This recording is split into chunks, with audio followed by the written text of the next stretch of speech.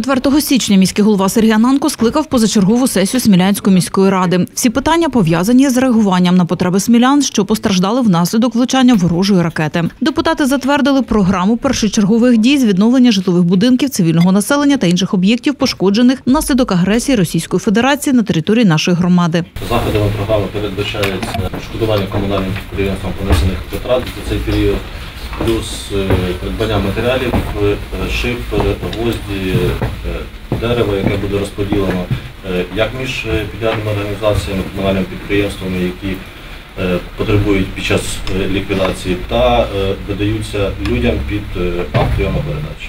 Внесли відповідні зміни і до комплексної програми Турбота, щоб мати змогу допомогти постраждалим матеріально. Пропонується додати пункт 1.18 в нашу програму, яка була, який звучить так, здійснення власникам житлових приміщень, зареєстрованих на території Смілянської міської територіальної громади, які були пошкоджені чи знищені внаслідок збройної агресії Російської Федерації проти України.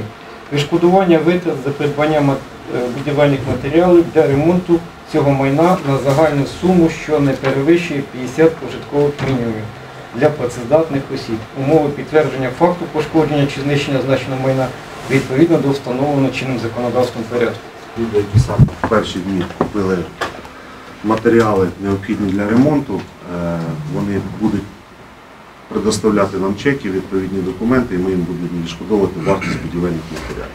На сесії було погоджено депутатами розроблення технічної документації землеустрою щодо встановлення меж земельних ділянок в натурі під садибними житловими будинками на частині зруйнованої вулиці. Рішення стосується е, домоволодінь, які підлягають не підлягають відновленню і будуть відбудовані. Е, Але в зв'язку з тим, що е, земельні ділянки цих домоволодінь не сформовані, право на землю е, власниками не оформлено, е, міська рада бере на себе зобов'язання е, сформувати ці земельні ділянки і в подальшому передати їх в оренду власникам домоволодінь для можливості е, проведення будівельних робіт і реєстрації речових прав на новозбудоване майно у встановленому законом порядку.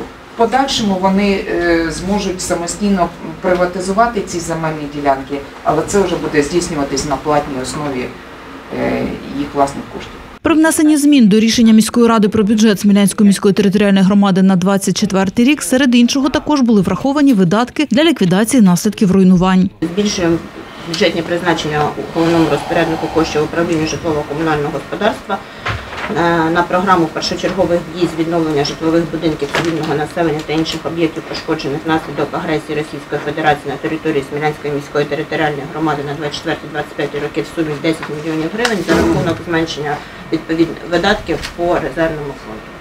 Ліквідація наслідків руйнувань триває. Тепер вже у посадовців є додаткові механізми фінансової допомоги постраждалим смілянам та розрахунків за будівельні матеріали.